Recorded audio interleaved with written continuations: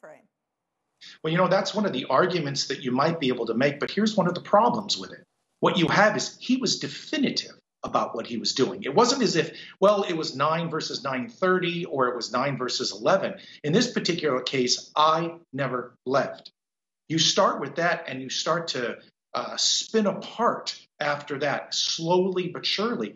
And one of the problems that they're going to have in this case, the defense will have with Mr. McCauley, is this jury is going to look at this boss and say, why would the boss lie? Why, why would he say this if this weren't true? And so I think they're going to believe that fundamentally. And then you start looking at how Mr. McCauley has spun out, how he didn't say, I don't know, I don't remember, I was high, or I didn't do something.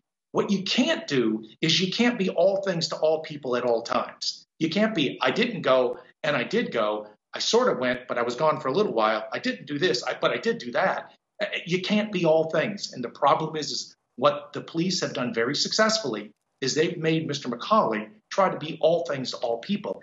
You can't do that.